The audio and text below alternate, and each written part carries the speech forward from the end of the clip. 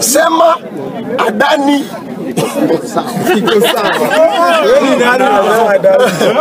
Adani iko sawa. Baba amesema Adani iko sawa. Wewe nani ukatai? Raila Amolo Odinga anataka kuenda AU.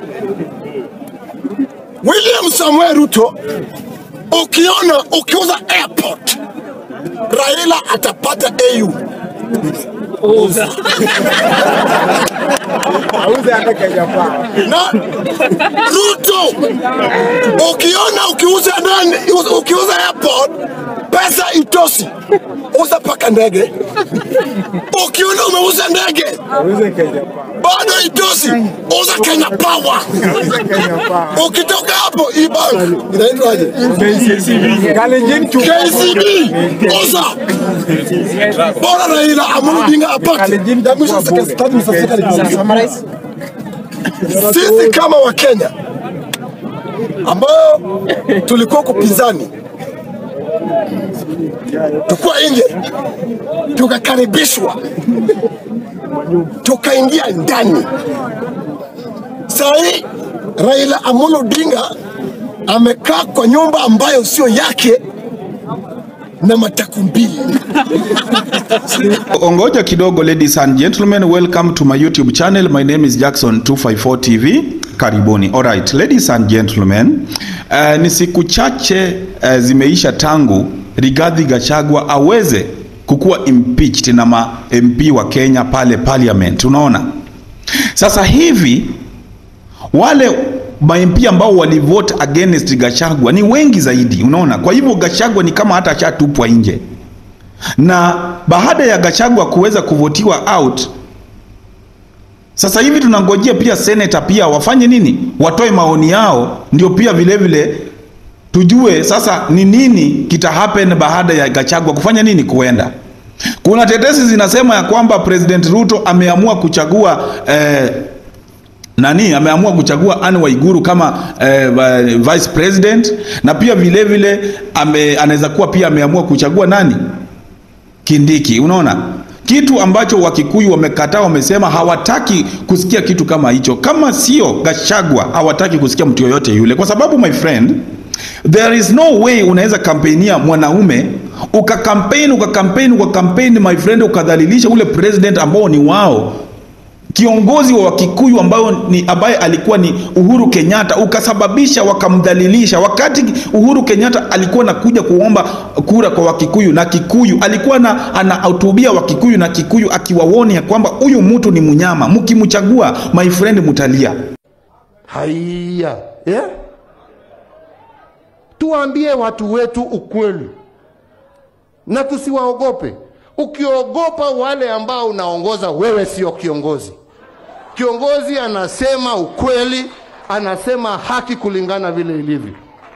Na mimi nataka niwaambie kwa uhaki, hata nikisema mimi nafanya kazi na, na ndugu yangu Raila Odinga, mimi sifanyi kazi kwa sababu nataka yeye awe rais. Mimi nafanya kazi na yeye kwa sababu nataka pamoja tuunde amani ya taifa la Kenya.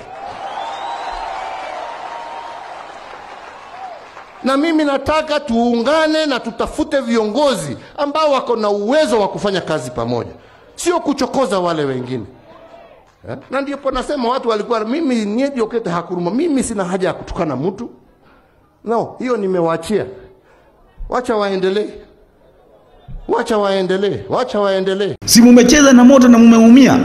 Si mumecheza na moto na mumeumia? Si mumecheza na moto na mumeumia? Si mumecheza na moto na mumeumia? Munataka kurudi kwa moto ama munataka kuokoka? Munataka kuokoka? Njia ya kuokoka ni Baba. Nawaambia, njia ya kuokoka ni nini? Njia ya kuokoka ni nini? Afadhali mzee ambaye ni mtulivu, ambaye hana haja ya kujaza mifuko yake, ambaye atachunga masilahi ya watu yake badala ya mdomo tamtamu tamtamu tamtamu tamtamu, lakini akiingia ni wale wa kufanya eh, moja yako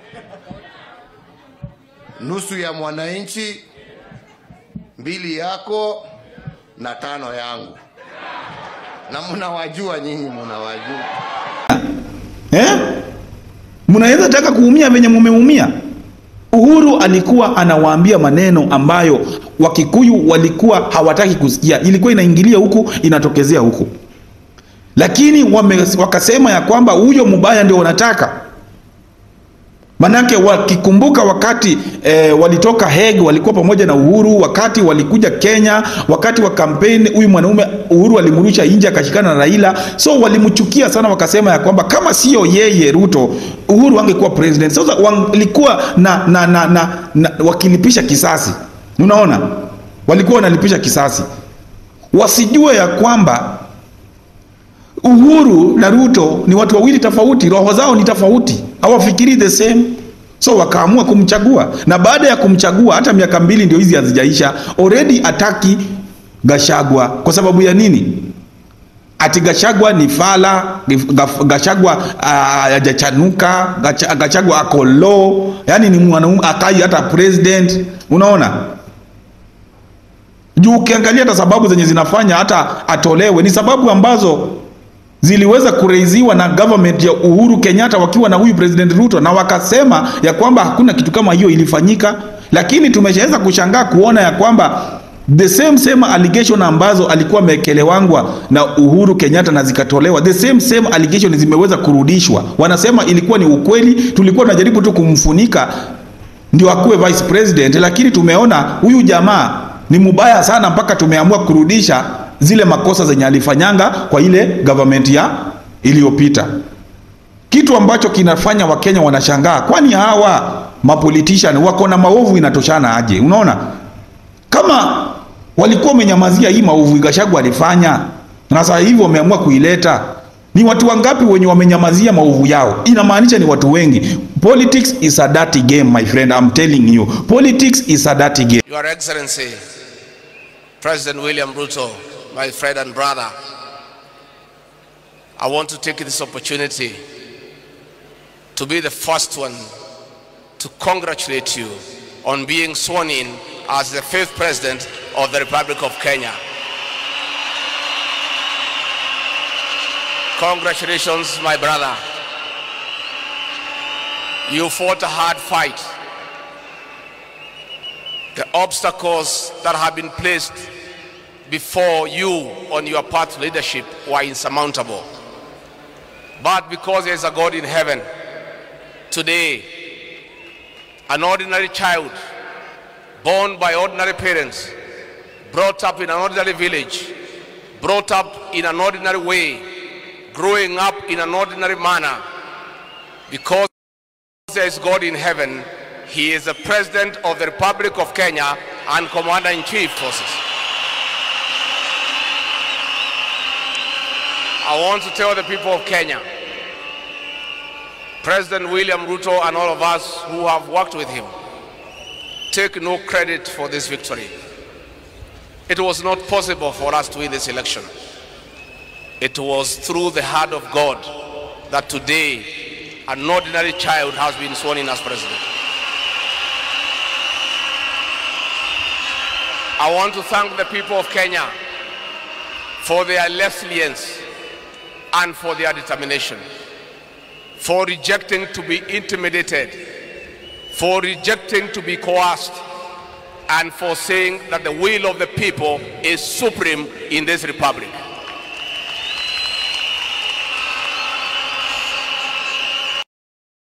Your Excellency, President William Ruto, I must tell these people the truth.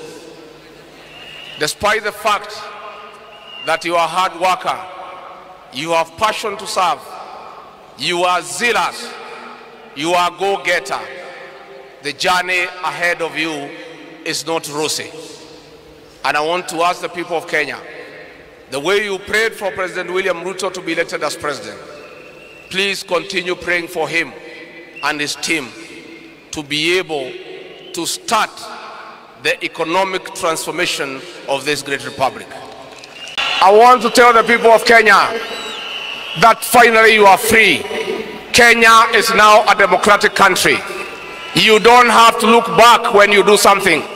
all Kenyans are free to associate with whoever they want. It became a crime in this country to be afraid of William Ruto. It is only that it was not put in the penal code. From today, I want to tell the people of Kenya that you are finally free. I want to tell public servants, I want to tell all the people of Kenya, from now, you don't have to talk with each other through the WhatsApp for fear of being recorded and persecuted by state agencies.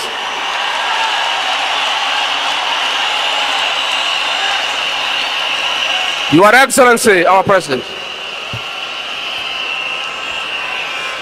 Your Excellency, our President, you have told us, and we believe you, that you shall never in your, president, in your presidency use the criminal justice system to manage politics. You have told us that you'll manage politics the conventional way through persuasion and reaching out. I want to give a word on behalf of our president that you are free to criticize his government without fear of reprisal from state agencies. Sasa hivi Gachagua anaenda sasa kwa masoko akiongea na watu marigiti, akijaribu kuwaongelesha. Yes, ile lugha sahihi anaongea ndio ile lugha ambayo Wakenya wanataka kusikia, lakini sasa hawa Wakenya hawawezi wakamsaidia. Kwa sababu ya nini? Hawana uwezo wa kumfanya arudi kwa madaraka. Unaona, hawawezi kukubali.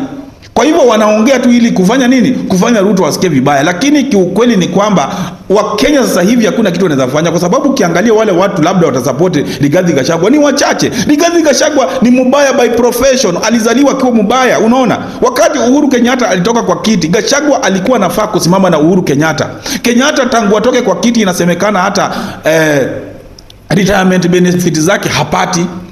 Unaona, kulingana na katiba, president akishatoka kwa kiti, kuna zile pesa anakuwa allocated with, na wafanyakazi anafaa kukuwa allocated with. Pia mama wa taifa, mama yake, kuna zile pesa alikuwa anapata tangu bwana yake akufe, kuna hizo pesa amekuwa akipata. Lakini ukiangalia hii serikali inasemekana zile pesa zote haikuwahi mpea hata retirement benefits, pesa za retire, kila kitu benefits zote zenye Uhuru alikuwa anataka anafaa kupata hapati, anatoa kwa mfuko sasa hivi ndio ili aweze hata kulipa wafanyakazi. Hata zile gari zenye anatumia ni mzee, na kulingana na katiba zinafaa kubadilishwa baada ya sijui muda upi. Sasa hivi my friend, zile gari bado ni mzee na wakiuliza wanaambiwa ni nini, mulitaka Raila kuleni ujeuri wenyu. Unaona, sasa wana, atapigwa vita. Unaona, wanalipisha kisasi. Ulidhani hatutaingia? Ulitutesa sana.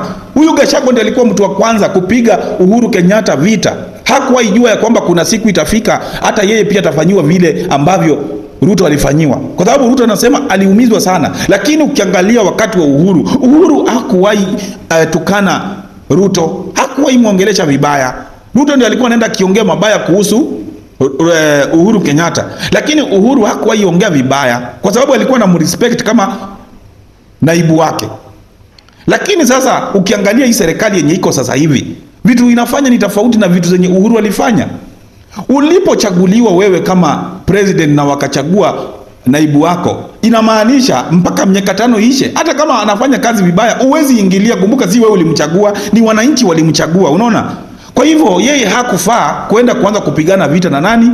Na Rigathi Gachagua. Kwa hivyo kumng'atua kwa kiti inamaanisha kwamba mtu mwenye anawekwa pale ni mtu mbaya zaidi, kitu ambacho sisi wa Kenya tusijui tutatorokea wapi kwa sababu my friend, Rigathi sasa ameanza kufichua zile vitu zinaendelea Kenya. Adani Airport imeenda.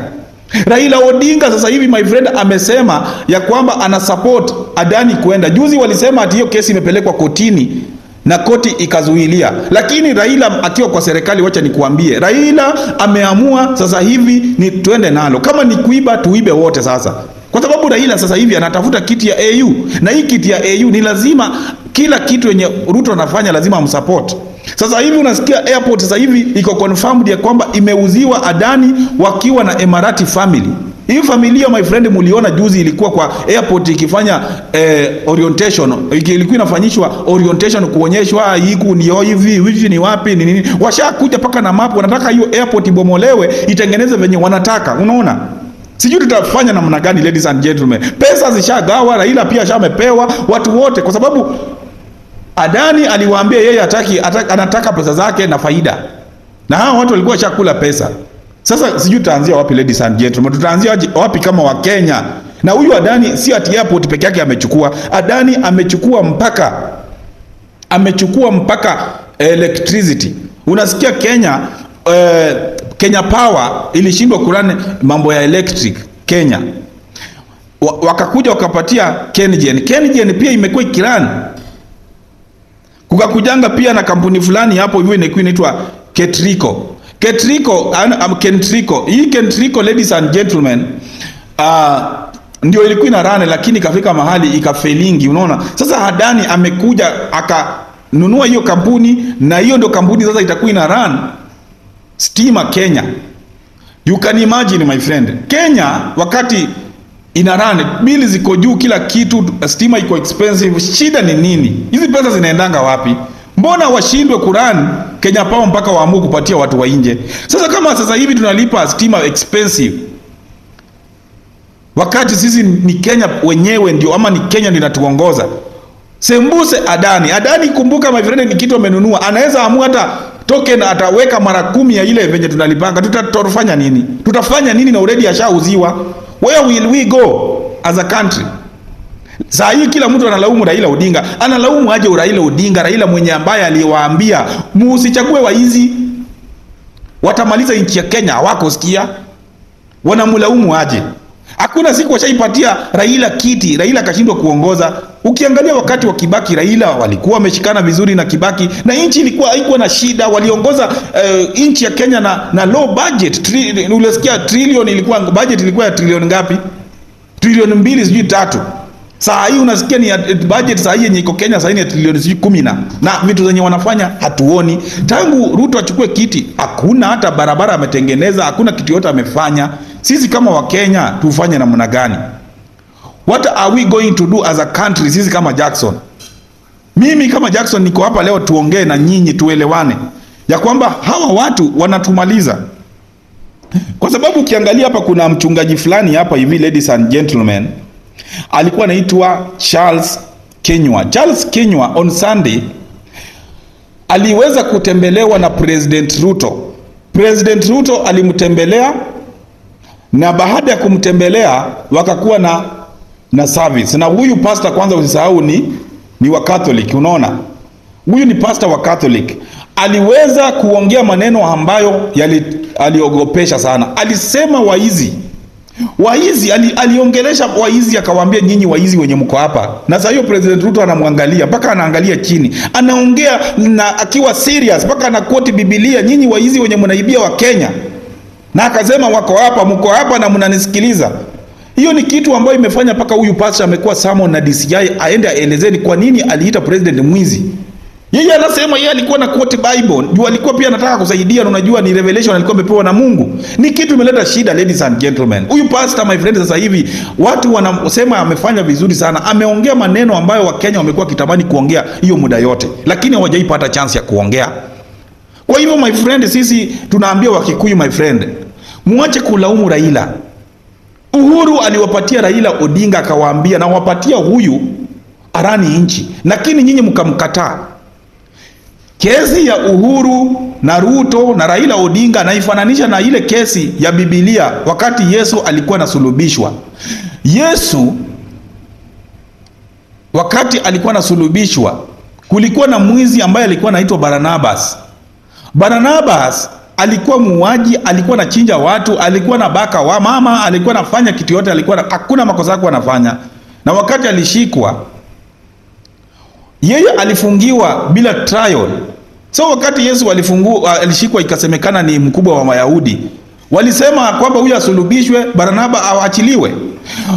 My friend, wacha nikuambie, ilikuwa ni noma, ilikuwa ni noma, my ladies and gentlemen. Pilato aliwaambia mimi huyu mtu simuoni makosa yake, akanawa maji na akanawa na akasema ya kwamba mimi huyu mtu sijaona makosa yake, lakini juu nyinyi mmesema nimwachilie na nyinyi ndio mlinichagua, nimemwachilia na huyu mwenye mmesema nimsulubishe, nimemsulubisha. Na akanawa mikono na akaambia Mungu, Mungu, it's not my fault, ni fault ya wa, wananchi na wananchi wa Kenya walitaka Ruto na akawapea, Mungu akawapea. Alipowapatia tena sasa wanalaumu nani? Na ni wao walimchagua. Walisema huyo mwizi ndio wanataka. Despite yeye kukuwa na kesi mingi, walisema huyo mwizi ndio wanataka. Sasa ninawauliza Wakenya wenye mnanisikiliza, ni wakati sasa hivi wa Kikuyu ni wa style up. Hii ukabila yenye ambayo imekuwa ikiendelea Kenya itabidi waimalize, na wasipoimaliza, my friend, wacha nikwambie, tunaelekea mahali pabaya sana. Ruto sasa hivi ameamua kurani inchi for more than 30 years. Ukiona Raila ameamua kujoin hawa watu, wanajua vizuri asipo wajoin my friend for 30 years my friend, atalala njaa, atalala njaa, ladies and gentlemen. Majenzi wote wamenunuliwa, wameambiwa my friend, kujeni kwa the winning team, mutoke huko mahali ambapo ni kwa losing. Saa hii Marara, saa hii yeye ataendelea na tujui hata maisha yake itakuwa namna gani. Maisha yake iko hatarini kabisa kabisa. Sasa hivi ameamua kuendea zile project ambazo ziliweza kuzinduliwa, pesa zikakulwa, zikakuwa embezzled, pesa zikakuwa embezzled, ndizo ameamua kugo after, na tunafaa tumuombee sisi kama Wakenya kwa sababu yeye ndio mtu wa kipekee saa hii ambaye ni opposition leader. The only reason yenye Raila anafanya ashikane na huyu Ruto ni kwa sababu eh, kuna kiti ya AU. Hii kiti ya AU, ladies and gentlemen, ni kiti na ambayo Raila lazima ashinde, na kama Raila ataanguka, ladies and gentlemen, ongojea Kenya mali inaelekea. Raila hawezi kukubali kukaa kwa hiyo serikali sana. Yeye ako kwa hiyo serikali kwa sababu anataka hiyo kiti, lakini akikosa hiyo kiti, ladies and gentlemen, I believe you me, Raila anarudi kwa street, wata expose zile vitu zote zimefanyika Kenya. Ngoja mtaona. Ni uchungu sana ladies and gentlemen, ni uchungu sana. Uh, mimi kama Jackson nimeweza kukuja hapa siku ya leo kuweza kuambia ya kwamba uh, yale maneno yanaendelea Kenya ni maneno magumu sana, ni maneno magumu, na haya maneno my friend, sisi kama sisi hatuwezi tukakubali. We have to stand up, lazima tu demonstrate kwa mitandao, lazima tuongee hata sijui kama tutasikizwa, lakini tuongee tu, kwa sababu hatujui mipango ya Mungu ni gani. Hatuwezi tukakubali hapa kuona vitu zinapanda usiku na mchana, school fees ziko juu na watu tulikuwa na watoto, vyakula zilipanda na tuko na watoto, na tunyamaze. Ni uchungu sana ladies and gentlemen. Mimi kama Jackson siwezi kubali, na nyinyi pia wenye mnanitazama pia najua hamwezi mkakubali. Kwa hivyo tujaribu juu chini tuweze kureject hii serikali, kwa sababu hii serikali my friend haina uzuri na sisi, haina uzuri na sisi. We have to think about our kids, we have to think about our families. Tusipofanya namna hiyo, ladies and gentlemen, tutaumia, tutaumia na hakuna kitu tutafanya. So guys, thank you so much kwa hayo machache, najua mmeweza kunisikia vizuri.